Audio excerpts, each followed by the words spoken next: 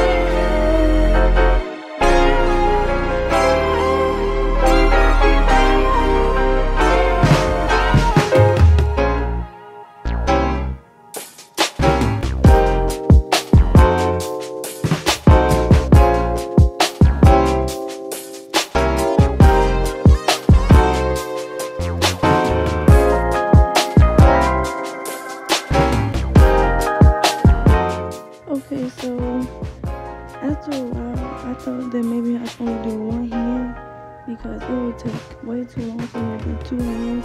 So right now you see me applying natural nail tips to my fingers, but then after a while I realized that the I want to have to use clear nail tips. So I changed to clear nail tips and the natural nail tips that I used in this video were from AliExpress.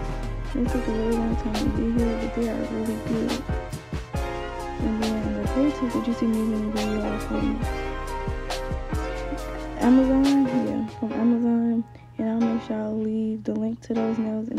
description box below. And then I'll be back in a few minutes so that I can tell you about everything else that I use in the video.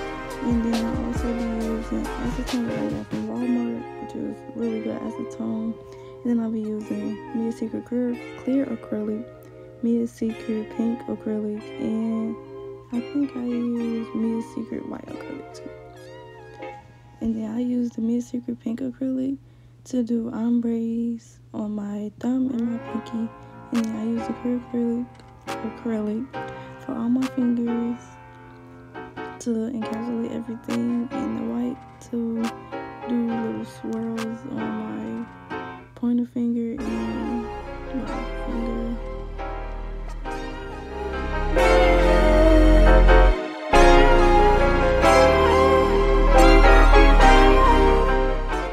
Also forgot to mention that the brush I use in this video is from Amazon and they have really good brushes so I'll make sure to definitely leave their information in the description box. And then I had a brush like this before but it was from AliExpress and that, that brush I had before was way better than this one but it got messed up because I left it in the by accident. But it's still a really good brush so I'll make sure I'll leave it in the description I'll leave both of them